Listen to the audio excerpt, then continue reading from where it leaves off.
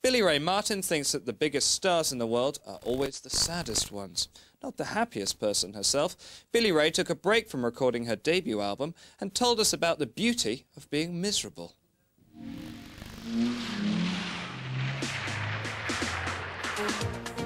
I don't think I'm as happy as your average person. I really don't think I am.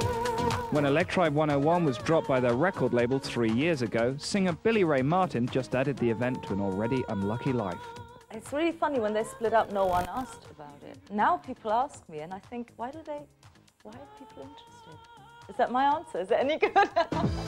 Sometimes the way that you act makes me wonder what I am to you. Having been told that she couldn't sing, Billie Ray Martin saw her fame fading fast. But two years after the split, Your Loving Arms has put her back into the charts with another haunting love song.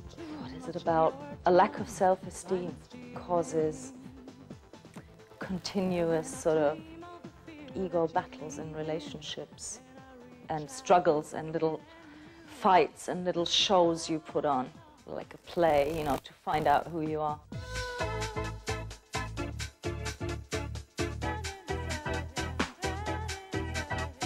Aptly described as Eurodisco's new vamp, Billie Ray Martin's forthcoming LP may hold a few surprises for those expecting just another dance album. You know, it's a Euro track, and people think it's probably going to be the whole, the whole album like that, but it's, um, it's only about three, four danceable songs on there, and the rest are these huge, big electronic ballads. It's sort of a bit Kraftwerk meets Phil Spector with live string and brass orchestras.